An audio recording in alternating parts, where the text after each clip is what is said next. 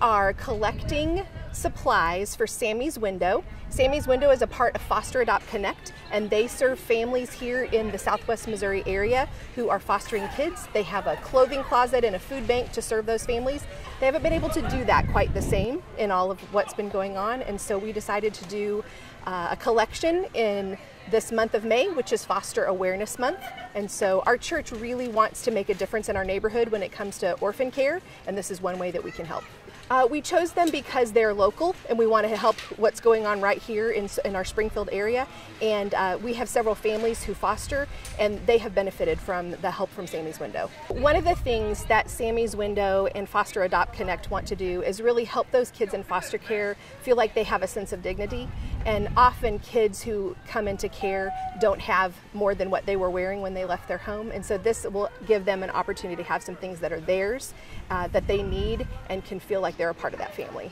Uh, Sammy's Window told me that last month they served over 600 families in a special drive-by event because they couldn't serve families in their regular way and they're planning to do that again uh, at the beginning of June. And they had a big need for some food items for hygiene items and for some real specific things. And so we decided to see what we could do to help put a dent in that. We are asking people to bring shampoo and conditioner, body wash, toothpaste, toothbrushes and some then some fun kid friendly foods like cereal, uh, soup, fruit, that kind of thing. And then Sammy's Window specifically said that they had a need for uh, boys size 6 8 uh, boxer briefs, and they needed some ladies size 7 uh, boy short underwear. And so those are the things that we asked our people to, to come and bring. We have a whole list at ridgecrestbaptist.org slash events, and you can see all about how to uh, come and drop off things. Today was our first day, and we have filled up an entire bin with uh, some food items and some hygiene items for, the, for those families. We want to keep people safe in the opportunity to help serve in our community, and so we're,